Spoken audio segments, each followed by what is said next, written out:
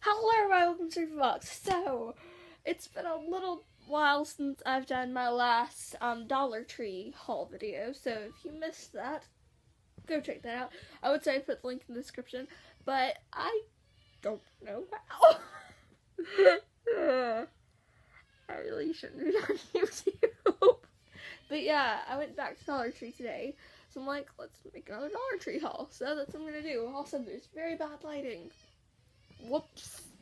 So, first thing I got is this cool 2017 Avengers calendar because, I mean, you can never have too many things with the Avengers on it. Okay, let's see. Also got this pretty sparkly gold eyeshadow. It's really pretty. so, thing.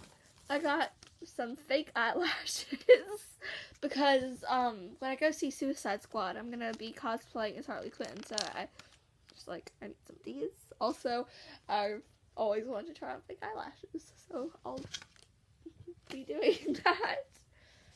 See, I got some bobby pins, but those are boring and nobody really cares. And then I got some hair color.